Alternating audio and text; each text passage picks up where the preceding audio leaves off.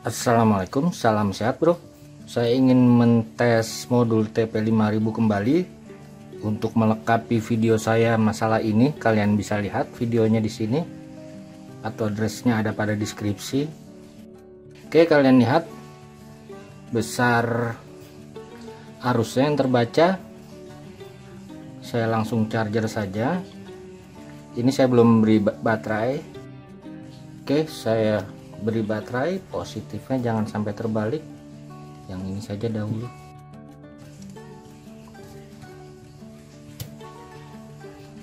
Saya cek dahulu apakah dikenal baterainya. Ya. Harusnya masih nol. Saya charger. Kalian lihat 1,762 saya pindah ke sini.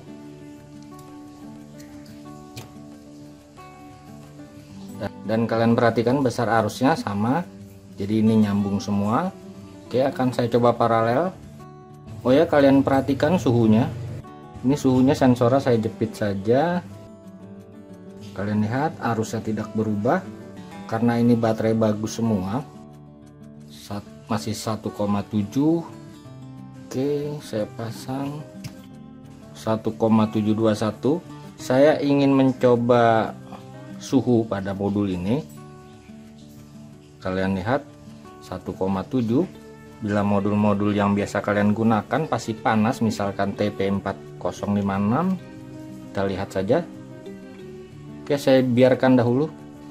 Kalian perhatikan ini LED yang berkedip pada 75% LED ketiga Oke saya diamkan. Oh ya dan saat uh, waktunya baru 4 menit kemudian arus 1,69 dan sudah masuk 109 mAh Oke saya diamkan. Oke akan saya ukur tegangan baterai. 4,00 tegangan baterainya Oke bro kalian perhatikan setelah 10 menit suhu hanya mencapai 40 derajat jadi memang ini menurut saya bagus sekali. Padahal modulnya kecil. Kalian lihat aslinya kecil sekali. Indikator masih di 75% jadi sepertinya suhu maksimum pada saat mencharger hanya sekitar 40 derajat celcius. Oke saya lanjutkan Oke mungkin tidak kelihatan saya perdekat dahulu perlihatkan. Kalian lihat tegangannya 5,18 arusnya 1,6 ampere. Kemudian timernya 14 menit dan pengisiannya sudah 400 mAh dari hasil ini nanti saya ini akan saya coba dulu kira-kira selama satu jam. Nanti kita lihat data setelah satu jam.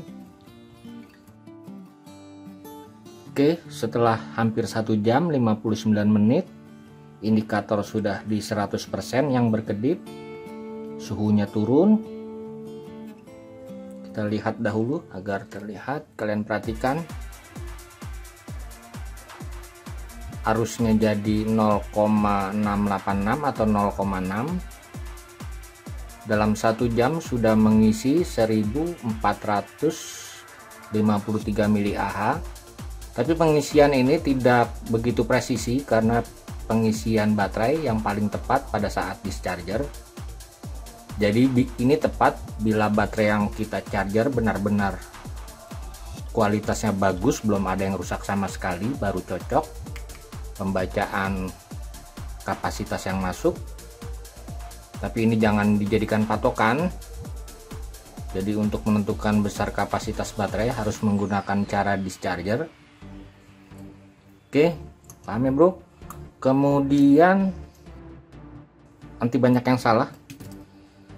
Jadi besar arus charger ini tergantung dari tegangan baterai bukan tergantung dari kapasitas. Paham ya bro ini saya lepas saja dahulu.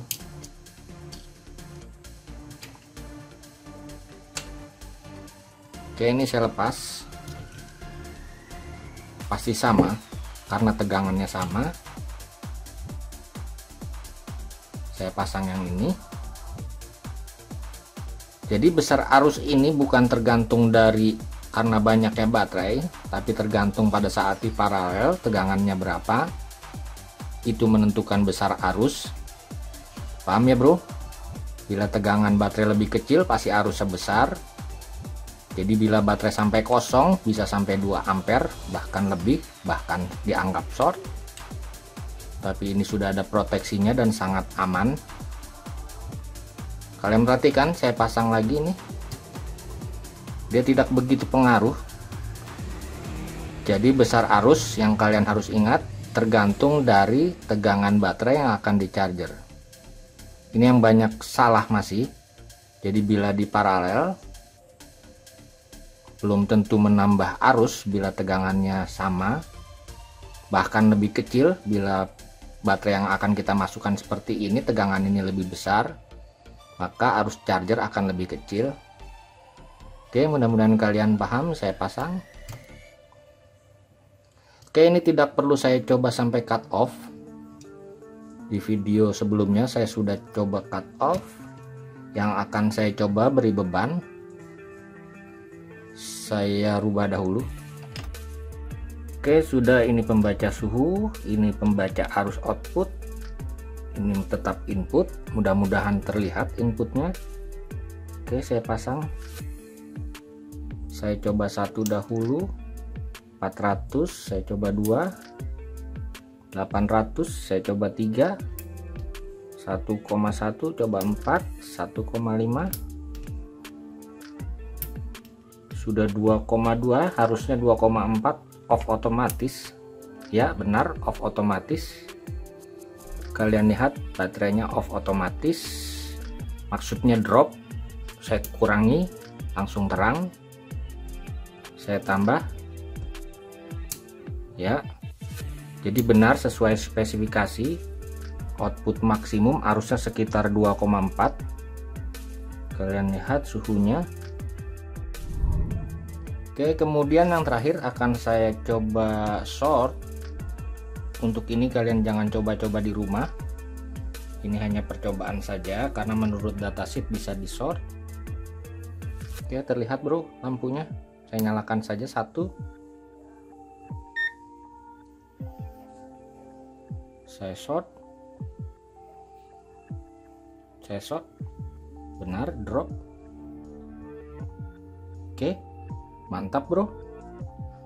Jadi short circuitnya bekerja.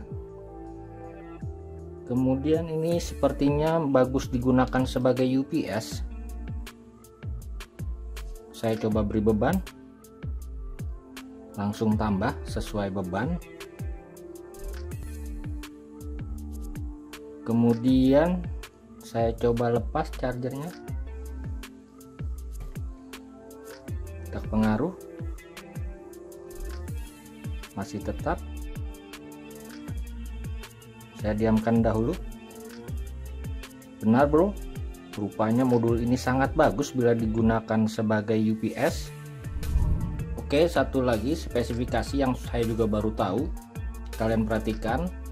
Saya beri beban pada saat masih mencharger saya beri beban nyala kemudian saya lepas kemudian charger saya lepas dengan kondisi seperti ini tidak ada beban, tidak ada charger, maka alat ini otomatis off. Oke. Videonya tidak saya potong, nanti akan saya beri waktu. Kalian lihat mati sendiri. Saya coba nyalakan kembali dengan cara menekan switch. Nyala kembali dan bila tidak ada charger dan beban, maka akan mati kembali. Paham ya bro? Oke, terima kasih telah berkunjung. Salam sehat. Wassalamualaikum warahmatullahi wabarakatuh.